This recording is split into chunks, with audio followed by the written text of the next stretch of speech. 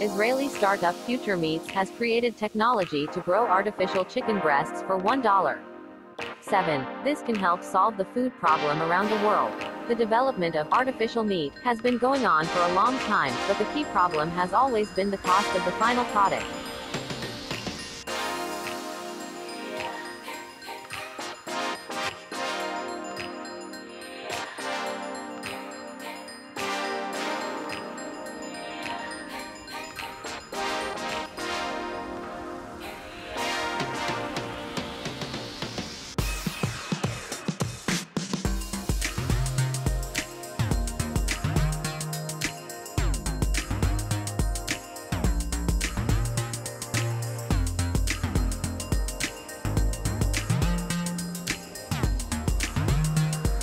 So, in 2013, the cost of a burger with a cutlet made from cultured meat would have been $330,000. However, technology has recently been developed to grow artificial meat quickly and cheaply.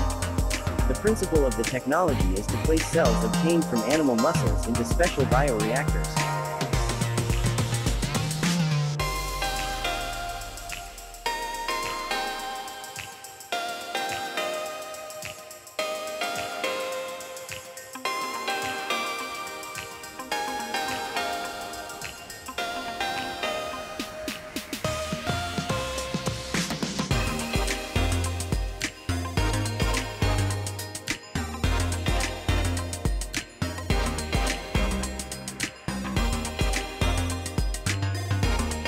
The startup, based in the city of Rehovot in Israel, plans to launch its products on the market as early as 2022.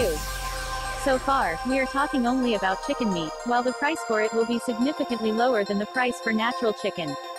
The company's website claims it is a delicious, healthy and budget-friendly non-GMO product.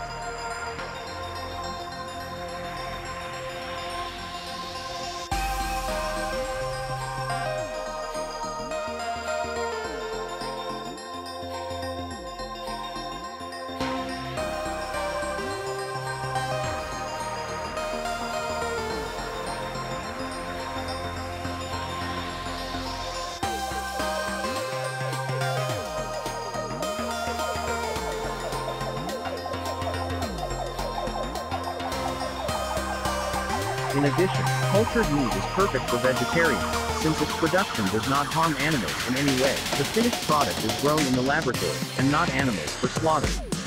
Cultivated meat does not harm the environment in any way, and its quality is not inferior to natural.